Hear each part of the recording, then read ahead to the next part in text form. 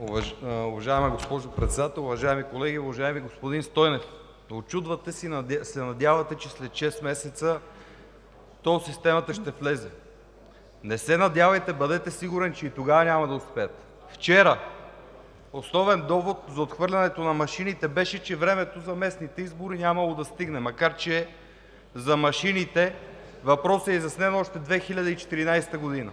Същото е с тол системата.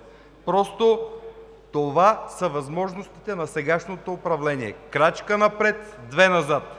Предишният закон, който гледахме за концесиите, го променихме преди шест месеца, сега върнахме точно обратното положение. Така че не се учудвайте, такъв е капацитетът на това управление. Благодаря. Благодаря Ви, господин Проданов. Има ли втора реплика?